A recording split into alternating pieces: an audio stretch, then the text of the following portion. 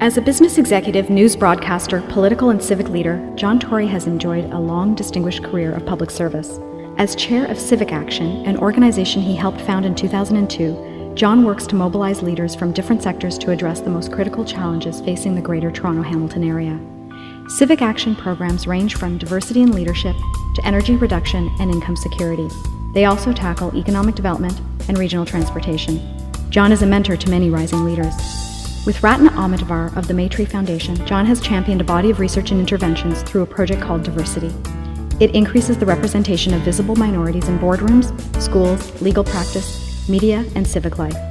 Engaging hundreds of organizations and thousands of leaders through DiverseCity, John has mobilized over 40 leaders from all sectors as champions, filled almost 600 positions on nonprofit and public boards, helped bring diverse voices to media, and trained over 900 people in civic literacy in highly diverse low income communities. As co chair of the Greater Toronto Marketing Alliance, John is also involved with how the Toronto region does business with the world and attracts foreign direct investment. He has facilitated greater regional cooperation on economic development.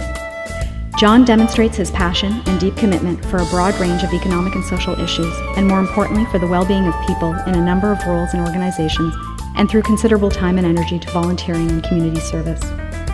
He has served as volunteer chairman and commissioner of the Canadian Football League and has chaired fundraising campaigns for St. Michael's Hospital, the United Way, and the Toronto International Film Festival.